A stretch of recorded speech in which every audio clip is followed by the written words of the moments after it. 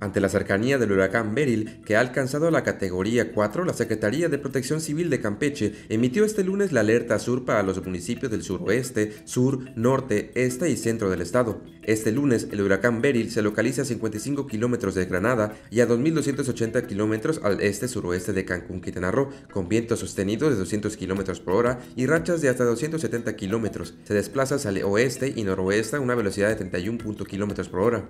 Según la CEPROSICAM, se espera que este fenómeno meteorológico impacte las costas de Quintana Roo el viernes 5 de julio alrededor de las 6 de la mañana como huracán categoría 1, para luego salir al Golfo de México durante las primeras horas del sábado convertido en la tormenta tropical. La CEPROSICAM exhorta a la población a mantenerse atenta a los avisos de Secretaría y a tomar las precauciones necesarias.